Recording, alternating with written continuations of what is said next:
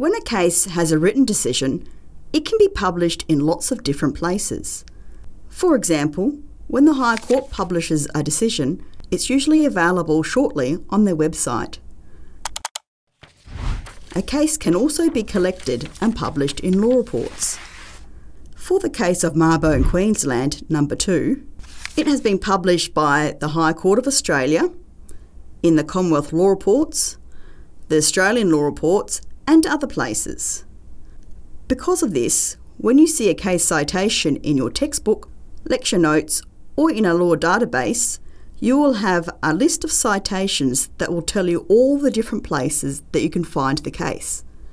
These citations are called parallel citations as they sit next to each other. When you cite a case in your assignment, you will only need to choose one citation per case.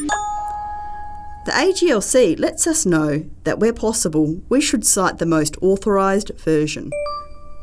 Check the AGLC that has a list of preference order for law reports. If you need help picking your citation, ask us at the library.